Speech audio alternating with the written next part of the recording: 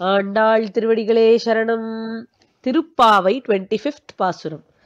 ஒருத்தி மகனாய் பிறந்து ஓரிரவில் ஒருத்தி மகனாய் ஒளித்து வளர தருக்கிலானாகி தான் தீங்கு நினைந்த கருத்தை பிழைப்பித்த கஞ்சன் வயிற்றினில் நெருப்பென்ன நின்ற நெடுமாலே உன்னை எருத்தித்து வந்தோம் பறை தருதியாகில் திருத்தக்க செல்வமும்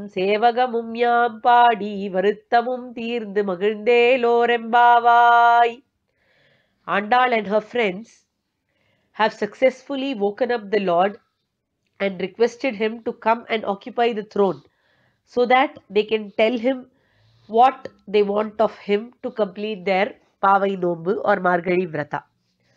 The Lord also listens to them and beautifully walks down to the throne, and the girls do Mangala Shasanam to him as he is walking thus.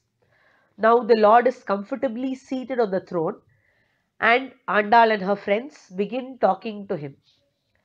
As soon as the conversation starts, Andal praises the Lord in the present avatara. That is the avatara present in front of them, the Krishna avatara. She says, O Lord, in this avatar of yours, you are born as the son of that one lady. Orutti Now everybody is born as the son or daughter of one lady. So what is special about mentioning that you are the son of one lady? Why is Andal saying like this? The answer is when Andal says Oruti, that one lady, it means that there is none other like that lady. She is unique. And this unique lady is Devaki Devi, the mother of Lord Krishna. Why was Devaki Devi unique?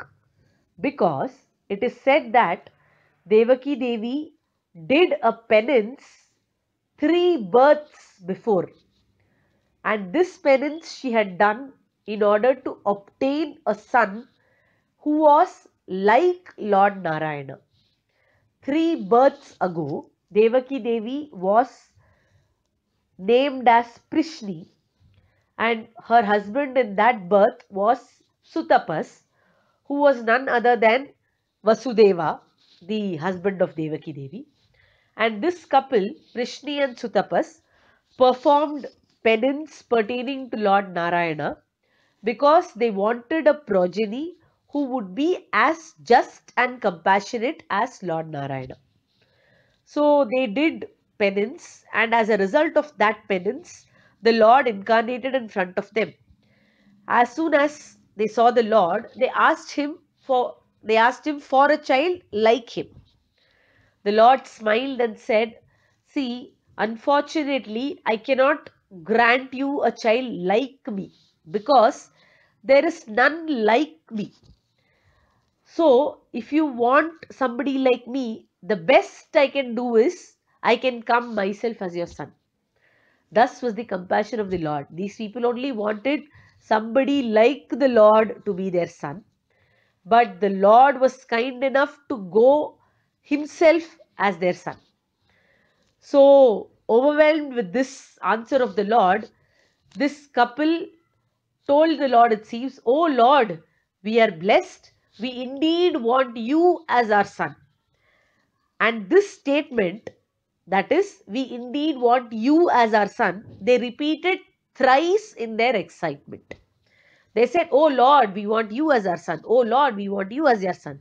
Oh Lord, we want you as our son. Like this, they repeated three times. And because they repeated thrice, the Lord said, Granted, granted, granted thrice. So he said that now that you have asked thrice and I have given thrice, I will be your son also for three births. Three times I will incarnate as your son. And to fulfill this boon of his, the Lord incarnated as their son in that very birth. He was born as the son of Prishni and Sutapas, and he was known as Prishni Garbha. And then in their next birth, when Prishni came as Aditi Devi and Sutapas came as Kashyapa Prajapati, the Lord incarnated as their son Vamana. And for the third time, when Prishni came as Devaki Devi and Sutapas came as Vasudeva, the Lord incarnated as their son as Lord Krishna. So, this kind of unique compassion was shown by you to this mother of yours. And so, she stands out unique. And so, I call her as Oruti, the unique one, the unparalleled one. And you, the unparalleled Lord, came down as her son. Orutti Maganai Pirandu. And as soon as you incarnated, O Lord, in that beautiful one night, Or Iravu means one night. So, in that beautiful night when you incarnated, certain things happened, she says. Now, when she's talking about this beautiful night, again she's saying that it is Oriravu, one night, meaning there was no other night like that night. It was a unique night, an unparalleled night. What was unparalleled about this night? This was the night when shackles broke open on their own. It is said that as soon as Lord Krishna incarnated, the iron chains by which Vasudeva and Devaki were bound opened up themselves. This was just to indicate that the presence of the Lord in our lives will break away bonds of unnecessities, bonds of vices from our lives.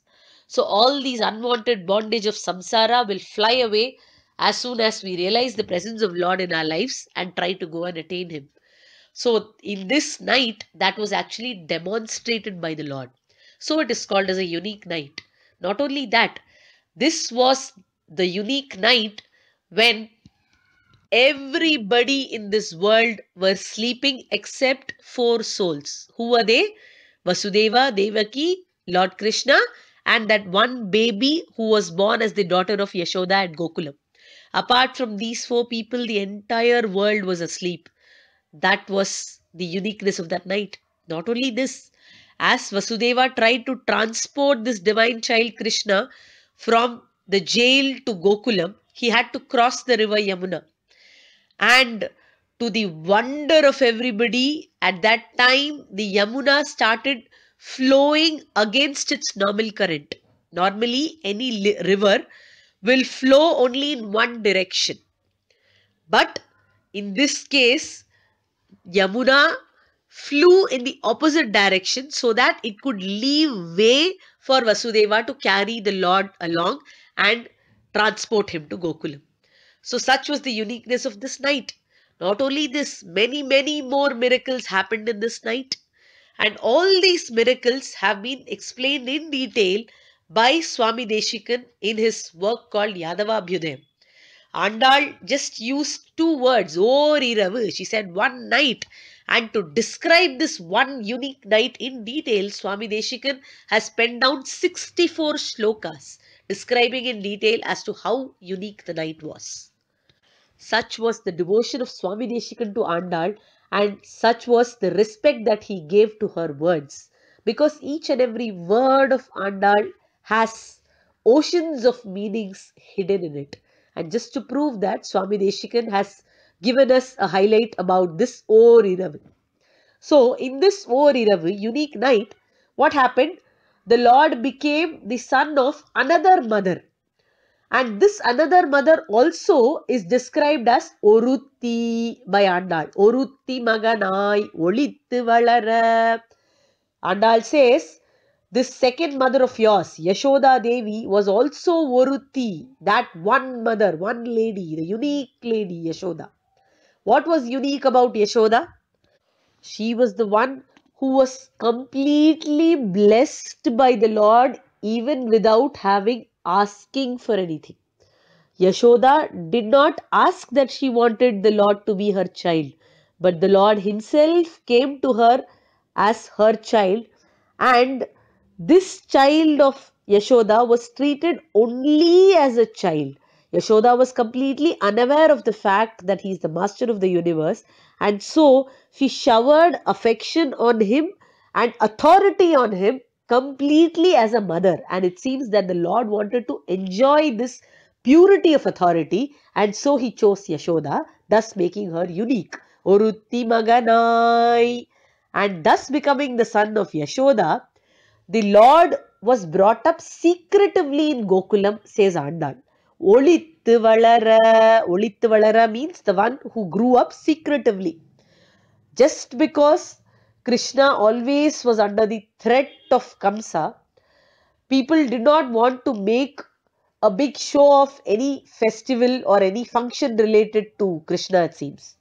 So it is said that the naming ceremony of Krishna was held in a very simple fashion in a cow head behind the house of Nandagopa. He did not want to make any hue and cry of this situation.